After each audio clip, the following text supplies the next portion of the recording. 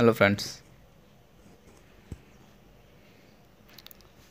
मेरे पास एक फ़ोन आया था, जो कि रियल मी टू है। तो इसमें जो प्रॉब्लम है, वो ब्लिंकिंग का प्रॉब्लम है।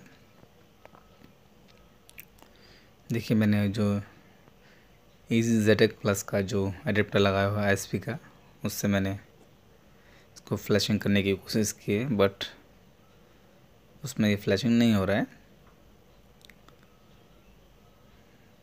तो मैं इस आईसी को रिमूव करके फ्लैशिंग करके मैंने इसे रिपेयर किया है। तो इस वीडियो में जो मेरे दिखाने का मकसद है, वो ये है कि अगर आपका आईएसपी से कनेक्ट करके आपका फ्लैशिंग अगर नहीं होता है, उस कंडीशन में आपको आईसी को रिमूव करके इसी अडेप्टर में फ्लैशिंग करना पड़ता है। तो ज़्यादातर जो टेक्नीशियन लोग हैं, वो आईसी को रिमूव नहीं कर पाते हैं। उनके अंदर एक डर बना रहता है कि ऐसे हुआ तो हुआ, नहीं तो फिर आईसी ब्लैक पेस्टेड है तो उसे कैसे रिमूव करेंगे? कैसे इस ब्लॉक प्रोटेक्शन प्लेट को काटेंगे? तो मैंने इसमें इजी तरीके से आपको काट के दिखाया कैसे मैंने काटा है। एक सिंपल कटर की मदद से कोई भी मैजिक कटर आपको लेने की ज़रूरत नहीं है। नॉर्मल चालीस रुपये में कटर आता है, उससे आप कर सकते हैं। तो ये जो ब्लैक पेस्ट ऐसी है तो मैं इसमें आपको आईसी को रिमूव करके दिखाऊँगा कि कैसे रिमूव करते हैं। एकदम केयरफुली पहले फ्रेंड्स हमको, हमें थोड़ा सा आईसी के चारों तरफ़ थोड़ा पेस्ट देना है।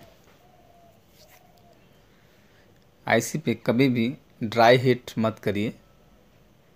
थोड़ा बहुत पेस्ट दीजिए, ताकि आईसी के ऊपर डायरेक्टली हीट ना पड़े। उसके बाद आपको धीरे धीरे आपको आईसी का जो साइड में जो ब्लैक पेज दिया होता है, उसका हम लोग कटिंग कर लेंगे। फ्रेंड्स, इसके साइड में आईसी के चारों साइड जो ब्लैक पेस्ट लगा होता है, उसको निकालने का मकसद ये होता है क्योंकि फ्रेंड्स, कुछ लोग सोचते होंगे कि इस ब्लैक पेस्ट साइड से नहीं निकाल के डायरेक्ट हम लोग एक साइड से निकालेंगे और ऐसे हम लोग का रिमूव हो जाएगा।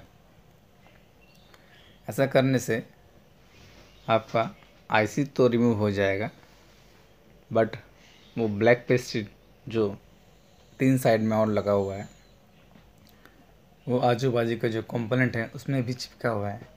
तो उसके साथ वो कंपोनेंट भी उखड़ जाएगा। तो इसलिए पहले हम लोग ब्लैक पेस्ट के चारों तरफ़ जो ब्लैक पेस्ट होता है उसको आईसी की शेप में कटिंग कर लेते हैं, ताकि हमें आईसी रिमूव करने के टाइम आईसी रिमूव हो जाए और कंपोनेंट ठीक रहे। आईसी को निकालने के लिए हमें ही 300 से 320 के लगभग आपको करना है, और धीरे धीरे धीरे हमें चारों तरफ़ घुमाना है,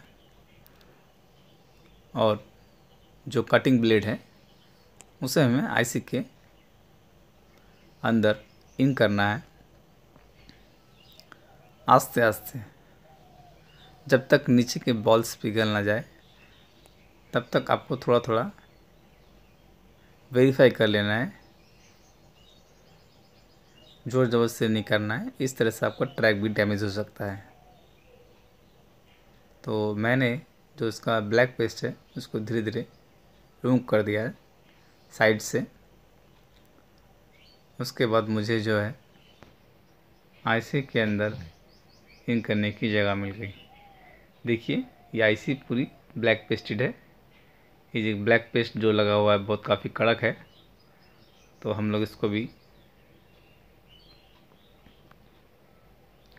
साफ़ करेंगे।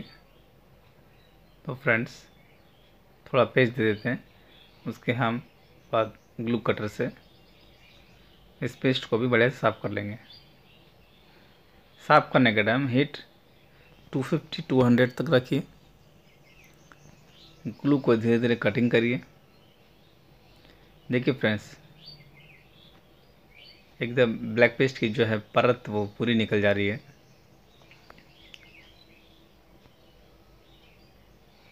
तो घबराना नहीं है आपको।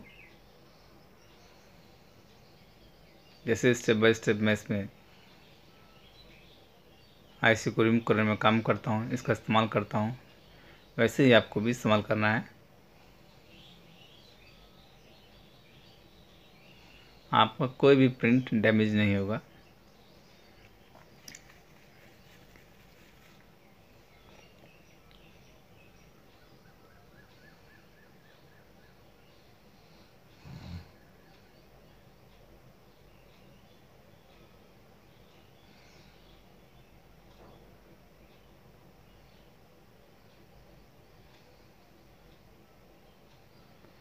धीरे धीरे धीरे हमें साइड का ग्लू कटिंग कर देना है। ये देखिए किस तरह से इसकी जो ब्लैक पेस्ट की जो लेयर है, वो ऑटोमेटिक कट जा रही है। तो उसी को ध्यान रखना है और प्रिंट में हमेशा ध्यान रखना है कि आजू बाजू में जो कंपोनेंट होता है, उसको हमें निकलने नहीं देना है। तो फ्रेंड्स ध्यान में रखिए, एकदम केयरफुली काम करना है। देखिए फ्रेंड्स, मेरा वीडियो बनाने का जो मतलब है, वो ये है कि आप अच्छे से सीख सकें और खुद अपने आप से ही कर सके काम को। कब तक आप इधर उधर काम करवाइएगा जब तक आप खुद काम नहीं करेगा, तब तक कुछ सीखेंगे नहीं।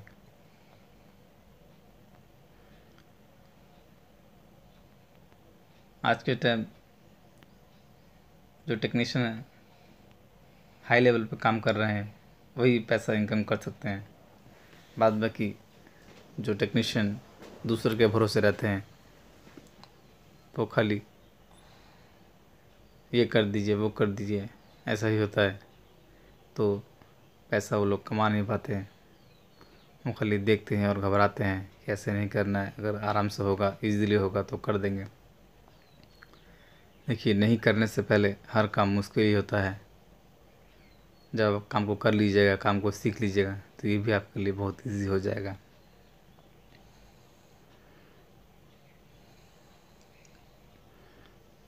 ग्लू कटिंग के बाद हमें आयरन की मदद से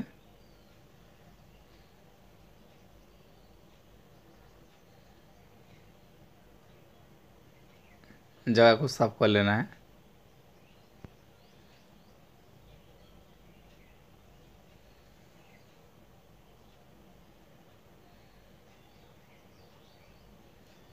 देखिए, मैंने जो भी काम अभी अप्रूव करके दिखाया वो नॉर्मल ब्लोअर से नॉर्मल एसएमडी यूज़ की है। नॉर्मल शोल्डर जो है, वो यूज़ किया है। मेरे पास कोई भी हाईटेक जो टूल्स है, वो नहीं है। तो मैं नॉर्मल तरीके से भी काम कर सकते हैं आप लोग। तो फ्रेंड्स पहले ऐसे ही ट्राई कीजिए। आपको अगर लगे इससे भी अच्छा कुछ होना चाहिए, तब फिर आप धीरे धीरे आप अच्छे टूल्स को बाई कर सकते हैं।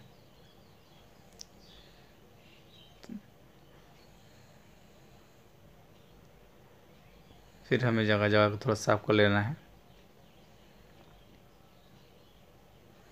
फुल प्रेसस प्रोसेस जो है मैंने इसमें बताई है। देखिए थोड़ा थोड़ा जो ग्लू है, अभी थोड़ा सा रह गया है तो हमें और पूरी फिनिशिंग के साथ इसे करना है। तो देखिए फ्रेंड्स मैंने पूरी जो बॉल्स हैं, जो ग्लू है कंपोनेंट्स के आजू बाजू में टोटली रिमूव कर लिया है। इससे आपको आईसी लगाने के टाइम कोई भी परेशानी, कोई दिक्कत नहीं होगी इसमें।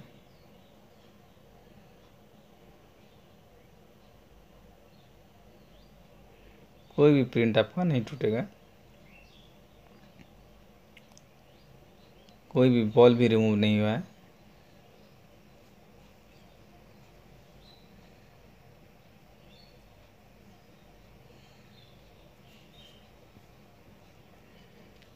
फ्रेंड्स किसी भी सेक्शन में कैसे भी, कहीं भी कोई भी प्रॉब्लम आपको होती है, आप मुझे कमेंट करके पूछ सकते हैं।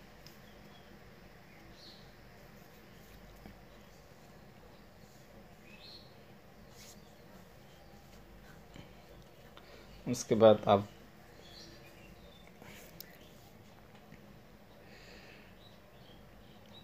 डिश शोल्डर वायर की मदद से बॉल्स को बढ़िया से प्लेन कर लीजिए।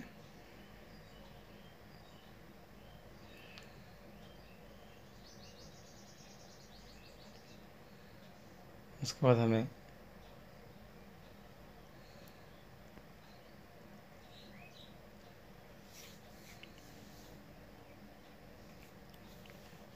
अच्छे से साफ़ कर लेना है।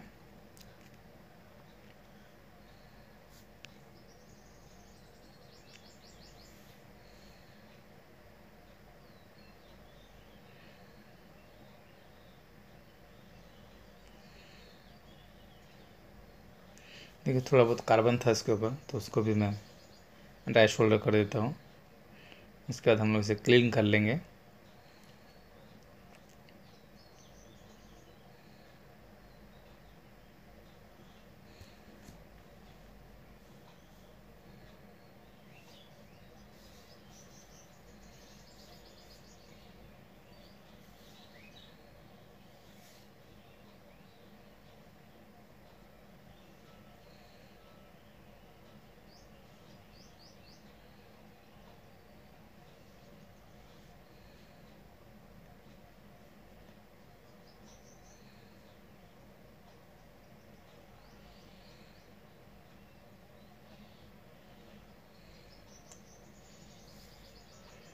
देखिए फ्रेंड्स अब देखिए एमएमसी जो मैंने रिमूव की है, उसकी जगह पूरी नीट क्लीन हो गई है। इसके बाद हम लोग, जो एम सी है, उसको भी साफ़ कर लेते हैं।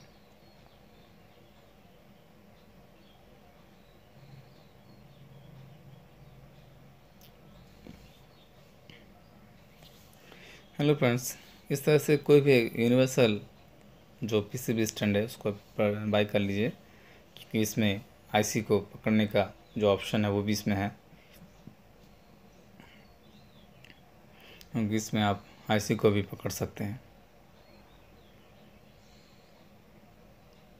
तो मैंने कैसे इसमें साफ़ किया है आईसी को?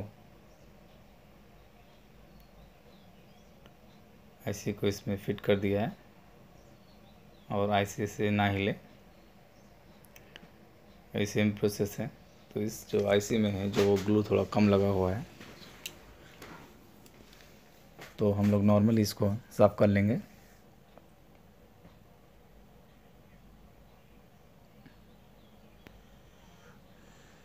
इससे पहले वाले वीडियो में मैंने आपको जो है एमएमसी और सीपीयू दोनों को रिमूव किया है स्वाइप किया है। तो इस वीडियो में जो मैंने आपको खाली इतना ही बताया है कि ब्लैक पेस्टिस आईसी को रिमूव करने के लिए कौन कौन सी सावधानी आपको बरतनी है, कैसे आपको साफ़ करना है, कैसे आपको ग्लू कटिंग करना है, कि आने वाले टाइम में अगर आप छोटी सी भी कोई W T R I C भी रिमूव करते हैं तो उसमें आपको ब्लैक पेस्ट ही मिलेगा। तो आज का जो मोबाइल लाइन है, उसके अंदर ब्लैक पेस्टेड एक बहुत बड़ा इशू आ गया है। इससे ब्लैक पेस्टेड प्रिंटेड में चिपका हुआ होता है। तो ऐसे रिमूव करने के टाइम तो वो मैक्सिमम प्रिंट ब्लैक पेस्टिस से जुड़े हुए होते हैं। तो उसको अगर अच्छे तरीके से आप अगर नहीं रिमूव करिएगा तो कोई भी बॉल आपका मिसिंग हो सकता है। कोई भी प्रिंट आपका डैमेज हो सकता है। उस कंडीशन में दो ही ऑप्शन आपके पास। या तो उसमें आप माइक्रो जंपर करिए, या तो आपको फिर बोर्ड कस्टमर को रिटर्न करना पड़ता है। वो बोर्ड फिर दोबारा नहीं होगा, क्योंकि उसमें माइक्रो जंपर करने के लिए काफ़ी मेहनत लगती है। टोटल इंस्ट्रूमेंट आपके पास होना चाहिए। तो देखिए, मैंने कैसे इसको साफ़ किया है, देखिए। एकदम पूरा क्लीन हो गया है। तो देखिए, मैंने इसको उसी जो है, जो मोरको का जो अडेप्टर है, ये है हमारी M M C two two one जो कि रेडमी टू की है। उसके बाद मैंने इसको